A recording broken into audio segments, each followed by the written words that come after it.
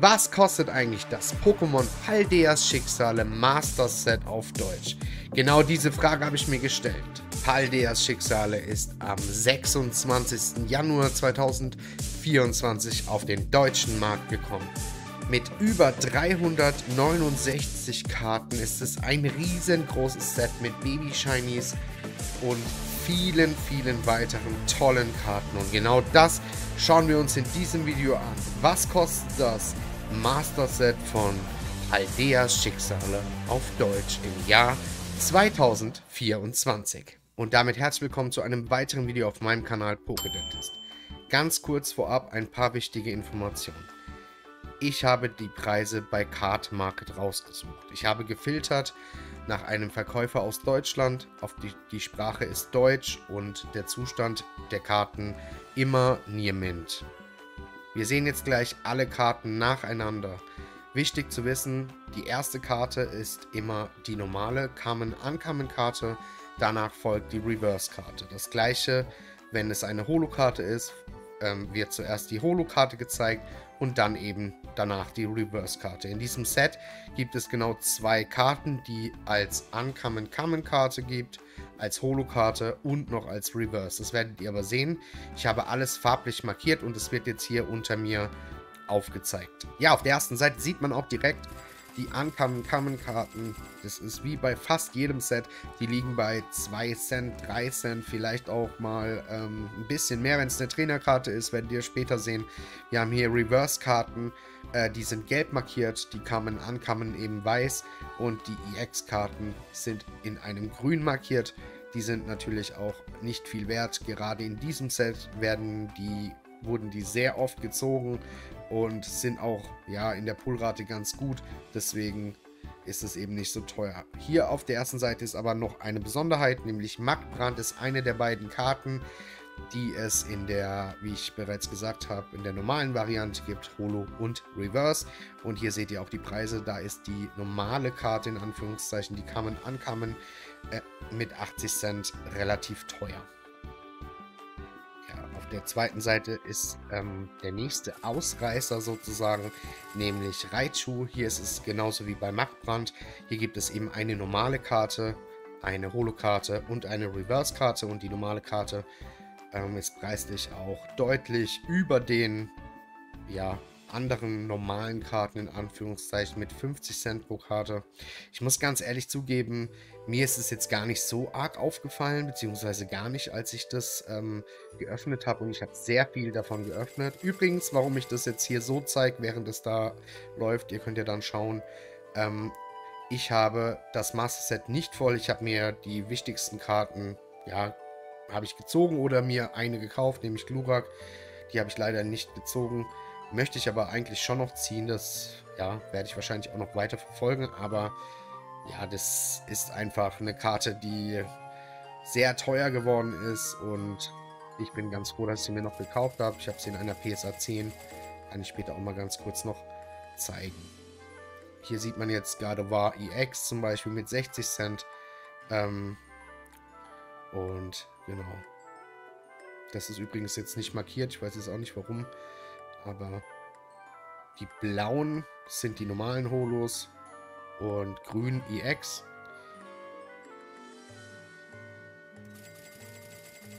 Man sieht hier eindeutig auch auf der Seite mit Battle und Co. Es gibt einfach keine wirklichen Ausreißer bisher. In diesem Set ist es natürlich so, dass die Baby Shiny Karten den Preis ausmachen und da dauert es natürlich ein bisschen, bis wir dann jetzt dort angekommen sind. Ähm, ich werde allerdings auch dann anmerken, wenn jetzt mal eine Karte etwas teurer ist, wie jetzt hier auf dieser Seite, ist es natürlich das Glurak EX, was mit immerhin 4 Euro ähm, eine relativ teure EX-Karte ist. Ich glaube, die war auch spielstark, ist spielstark, da bin ich einfach nicht so drin. Könnt ihr gerne mal nachschauen oder vielleicht auch in den Kommentaren beantworten. Und äh, wenn ihr gerade dabei seid, wenn euch das Video gefällt oder generell diese Art von Master Set Videos, dann würde ich mich über einen Daumen nach oben freuen, einen netten Kommentar und ein kostenloses Abo, wenn ihr das da lassen würdet. Würde mich sehr freuen. Hier ist äh, Gengar mit der Reverse mit 9 Cent, ist auch etwas teurer schon wieder. Ähm, ist natürlich auch wieder ein Fan-Favorite und damit einfach ein bisschen teurer. Ich bin mal gespannt, wann es da mal wieder eine Special Illustration Rare Karte von ihm gibt. Nach äh, Fusionsangriff wäre das schon mal wieder sehr interessant, da eine coole Karte zu bekommen.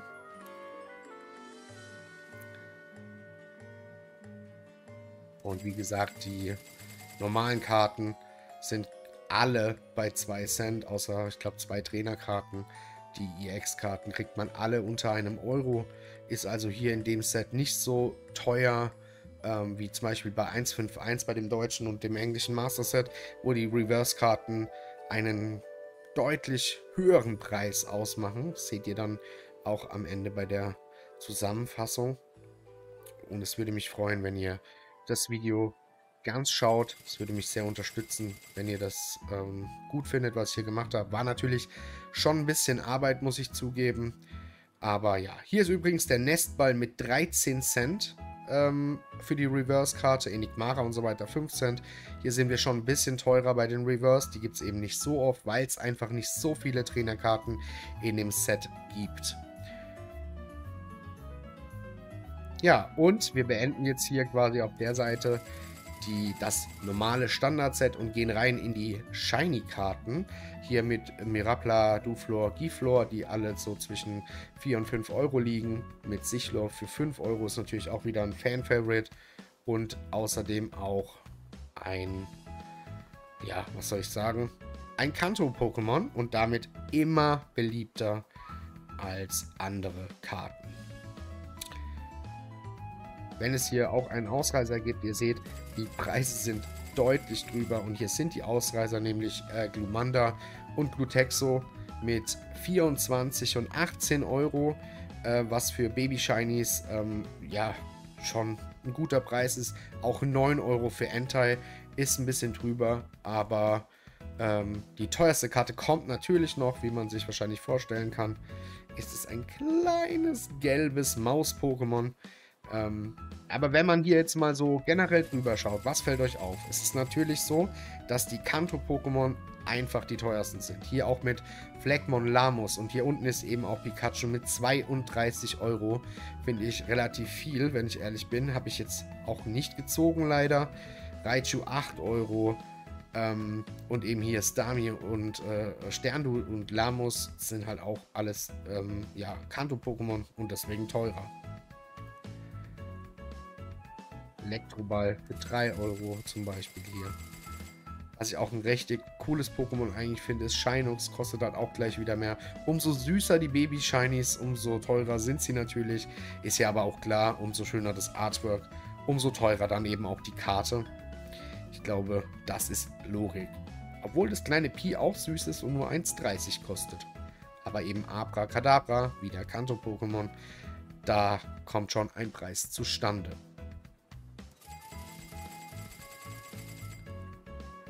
Auf dieser Seite ist jetzt eigentlich kein Ausreißer, nur wem fällt es wieder auf.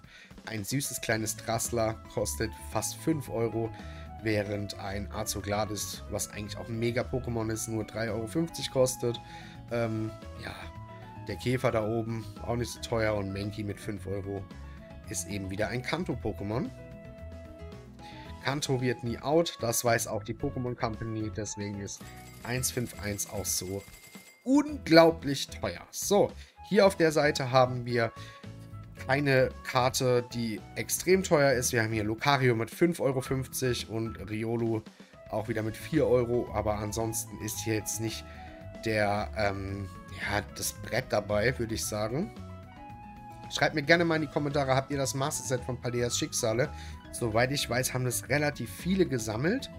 Und hier kommen wir jetzt auf der Seite auch wieder zu Kanto-Pokémons und deswegen ähm, neben Sherox, was kein Kanto-Pokémon ist natürlich, aber auch sehr beliebt und echt ein cooles Pokémon, mit Taubsi für 9,50 Euro, Taubora 4,90 Dito 7,20 Euro und Relaxo, der war mal deutlich teurer, meine ich, und der liegt jetzt bei 11 Euro, was natürlich auch nicht wenig ist.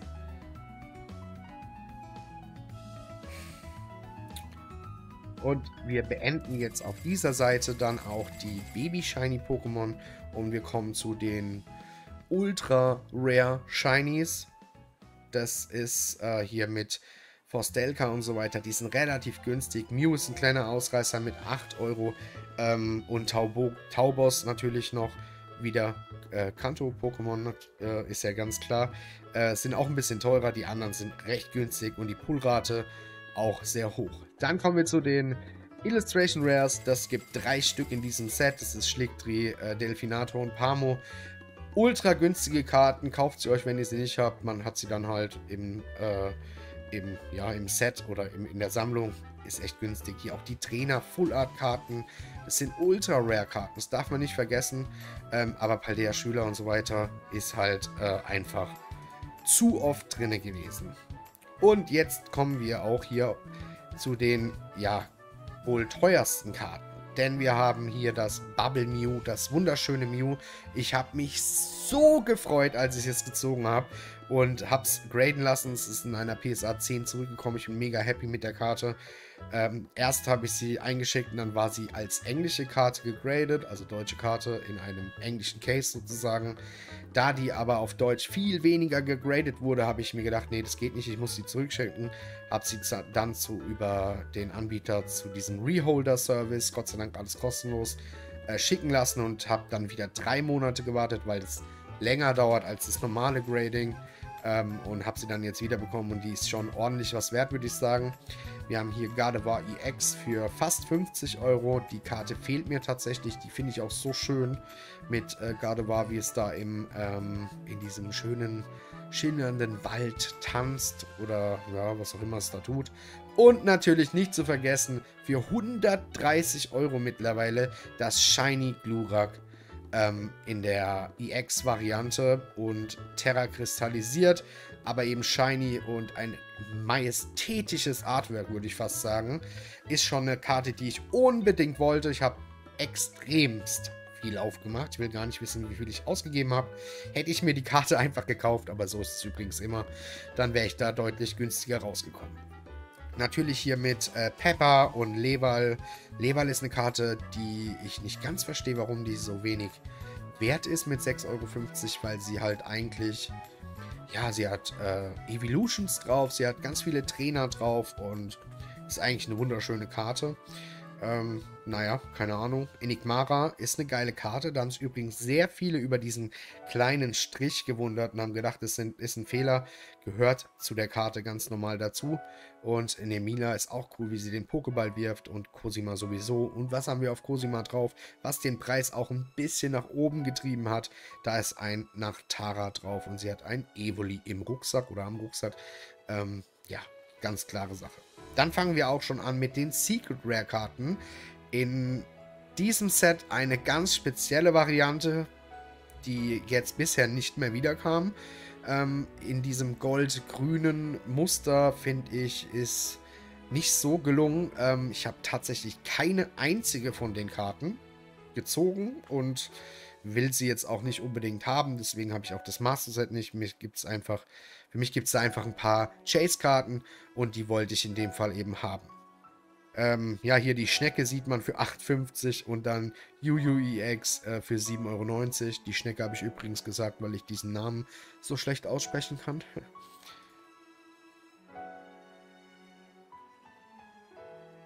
Und jetzt sind wir auf der letzten Seite des ähm, Sets eigentlich angekommen mit ähm, Bao, Jin, äh, Miraidon, Dinglu, und Koraidon EX. Die Karten sind alle nicht extrem teuer mit 10 bis ja, 5 eigentlich, 5,50 hier mit Dinglu.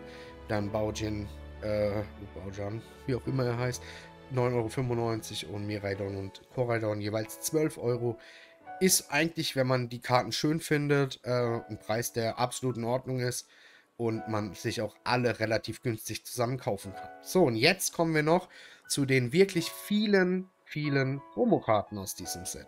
Wir haben einmal Glurak EX Shiny aus der Tin. Wir haben Eisenrad EX aus der Tin und Riesenzahn aus der Tin. Riesenzahn und Eisenrad. Sehr, sehr günstige Karten. Die Tins davon sind auch sehr günstig, während Glurak eben 4,80 Euro kostet.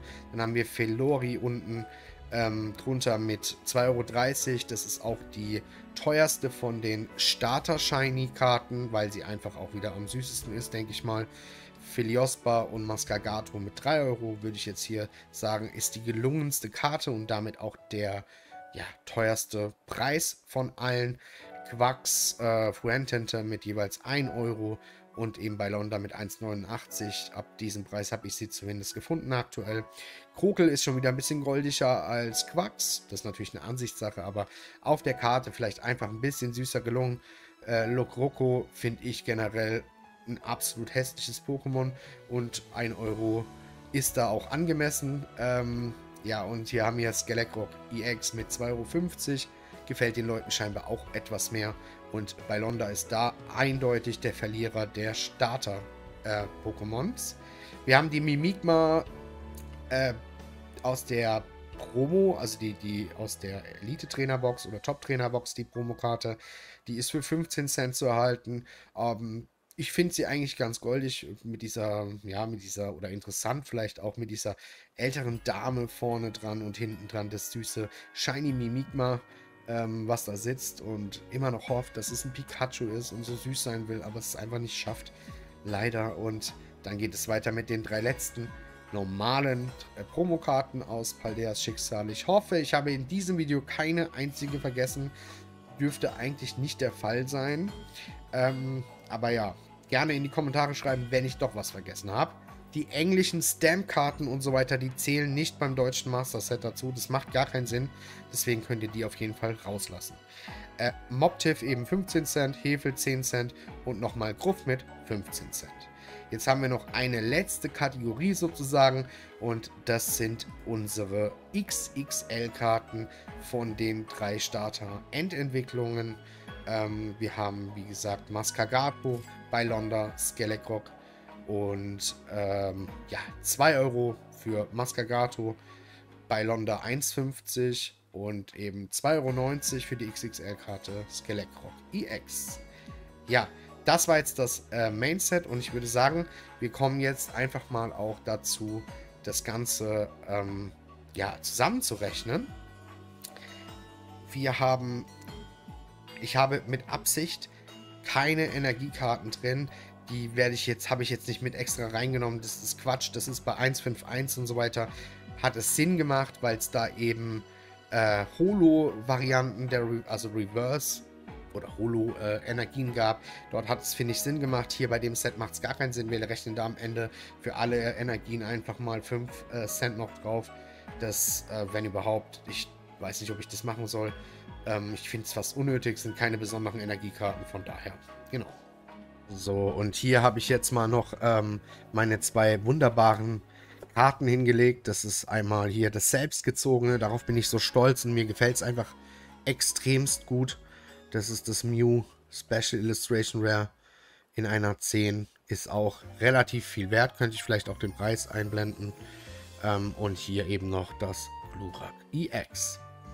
Ja, kommen wir zu den Preisen. Ich fasse jetzt jede Kategorie nacheinander zusammen. Kommen wir zur finalen Aufstellung des Master Sets von Paldeas Schicksal auf Deutsch. Für Common und Uncommon Karten musst du 2,67 Euro hinblättern, was jetzt nicht viel ist. Dann würdest du für die Reverse Karten insgesamt 2,99 Euro bezahlen. Für die Holo-Karten kommen nochmal 29 Cent obendrauf und für die EX-Karten insgesamt, und da ist der Hauptpreistreiber ähm, quasi Glurak, nämlich 7,45 Euro insgesamt. Das sind ja Preise, die einigermaßen okay sind. Machen wir weiter mit den Illustration Rares in dem Fall. Da sie so einen geringen Preis haben, nennen wir sie als erstes mit insgesamt 55 Cent. Die Shiny Ultra Rare Karten, also die erwachsenen Pokémon, äh, Shiny Pokémon kosten insgesamt 32,23 Euro. Für die Ultra Rare Karten, also die Trainer Full Arts in diesem Set, muss man insgesamt 1,75 Euro bezahlen. Das ist alles aktuell noch wirklich in Ordnung, würde ich sagen. Für die Secret Rares zahlt man 55,85 Euro. Für die Promokarten würde man insgesamt 29,08 Euro bezahlen. Und jetzt kommen die großen Brocken. Fangen wir an mit den Special Illustration Rare Karten, wo Glugak und so weiter in der Altart-Variante vorhanden sind und eben das Mew. Dafür würde man insgesamt 323,45 Euro bezahlen. Und der größte Slot in diesem Set, wer hätte es gedacht, bei den Einzelpreisen sind natürlich die Baby Shinies. Und du kannst mal jetzt noch vorher in die Kommentare schreiben, was denkst du sind die Baby Shinies wert? Ich sag's dir gleich. Nämlich 461,30 Euro muss man für alle Baby Shiny Karten hinblättern. Ich finde, das war das Krasse an diesem Master Set. Man kann jedes Set eigentlich so ungefähr abschätzen mit den Chase-Karten und dann eben noch die Common Uncommon. Manchmal sind Reverse seltener und ein bisschen teurer oder vielleicht auch mal eine EX, weil es eine Glurak ist oder ja, eine Trainerkarte mal dabei. Aber in diesem Set sind es eben die Baby Shinies und damit kommen wir zu einem relativ hohen Gesamtpreis, nämlich gar nicht so weit weg wie von, also von dem 151 Master Set, was ich übrigens auch ein Video gemacht habe, könnte ich, würde ich euch auf jeden Fall im Anschluss äh, verlinken. Und wir haben dort so 1200 Euro insgesamt gehabt. Und hier haben wir einen Gesamtpreis von 917,61 Euro für das komplette Master Set Paldeas Schicksale. Ja, ich hoffe, dass euch ähm, dieses Video weiterhilft, wenn ihr irgendwo ein ganzes Set kaufen wollt und so weiter, dass ihr einfach ungefähr wisst, ohne jetzt groß äh, hier komplett Kartenmache, so wie ich es gemacht habe, äh, zu durchsuchen. Ähm, dann könnt ihr einfach gerne hier ein Like auf dem Video da lassen, wenn es euch geholfen hat. Und ich würde mich auch über ein kostenloses Abo freuen und ein bisschen Feedback in den Kommentaren. Einfach weil dieses Video wieder relativ aufwendig war. Und da freut man sich natürlich, wenn man über seine, für seine Arbeit ein wenig Lob bekommt. Wenn ihr es scheiße findet, könnt ihr es natürlich auch reinschreiben. Und damit vielen Dank fürs Zuschauen. Äh, vergesst nicht, meine anderen Videos zu schauen. Ähm, die könnt ihr gerne auch mal durchklicken, ist bestimmt was dabei. Eben auch die Master Set Videos von 151 Deutsch und 151 Japanisch, was ein abartiger Master Set Preis ist. Und genau, damit bin ich raus. Ich bedanke mich und ciao, ciao.